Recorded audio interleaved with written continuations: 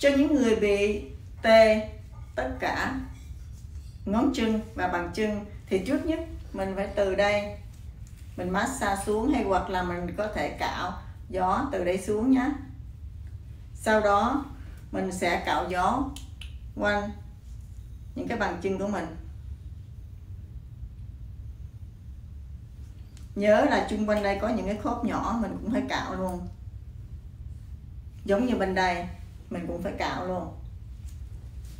Sau đó lấy ngón tay mình có tất cả là năm à, năm lóng xương chạy dài theo năm ngón. Thì giữa những lóng xương đó thì mình phải bấm từng giữa những lóng xương. Bấm những cái khớp từ giữa những lóng xương như thế này. Và bấm từng ngón à, chân bấm từng ngón chân. Và bấm từng trên cái đầu của ngón chân.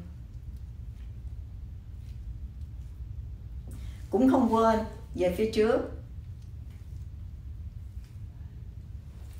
Sau đó, mình có thể nhẹ nhàng hướng đi, hướng lại và cong những bàn chân của mình hoặc là căng ngược lại